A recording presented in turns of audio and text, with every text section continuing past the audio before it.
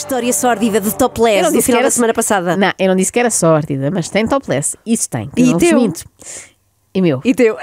Mas era um topless clínico, que eu vou explicar. Então. Tive que ir fazer um exame, Ah. que já todas fizemos, e que implica despir da cintura para cima. Então, Sabes que ela é minha- Não se esqueçam Sim, de marcar sim. os vossos exames de forma regular. É verdade. A partir dos 35 é melhor ficarem atentos. Não, não sejam como a Ana Galvão, que esteve, levou 20 anos a fazer a sua primeira fiz. mamografia. Mas é assim, se tem a minha idade, vá na mesma. Vá, vá, vá. Vai sempre a tempo. Sim. Bom, isto parece, parece uma coisa patrocinada, mas não é. Não é.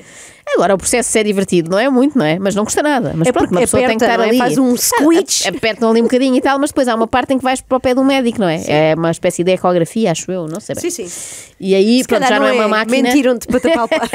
já não é uma máquina, já é um senhor. Agora, o que é que sucede? Faz lá o que tem a fazer, vê, está tudo ótimo, ainda bem, bom sinal, mas depois enceta uma conversação sobre política, sobre Pedro Nuno Santos, Não. sobre o programa Mas a falar, do das, Ricardo a Araújo falar da esquerda e da direita?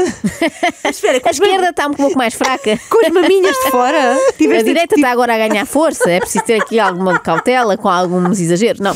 Ah, a falar, ou seja, eu estava ali, continuava ali naquela posição, não é? Meio. Vulnerável? Vulnerável, vulnerável é o termo, porque tinha a minha roupa naquela cabinezinha onde deixaste a roupa antes, não é? Portanto, estava em tronco nu, o que para uns cavalheiros será mais normal do que para nós. E uma conversa longa, bastante longa sobre Pedro Nuno Santos e, e sobre o Chega e sobre como são estas eleições. E Pedro Nuno Santos tem ali umas coisas que faz lembrar o Sócrates. Sim, sim, mas sempre a pensar, muito consciente do facto de estar eh, em topless. Posto isto, a coisa resolveu-se, não sei o quê, saí, vesti-me, fui à minha vida. Paguei, etc. Saí, apanhei um Uber para ir para casa, porque estava numa zona eh, da cidade em que é difícil estacionar, então não fui de carro. Entro no Uber, ah, trouxe já o- lá as imagens, não é? Do exame, tudo muito bem As fotografias? as fotografias e chego a casa e vou para a minha casa. E quando estou descansada em minha Sim. casa, penso assim: não tenho os exames. Deixaste no Uber. E pensei assim: neste Deixaste momento. fotos de.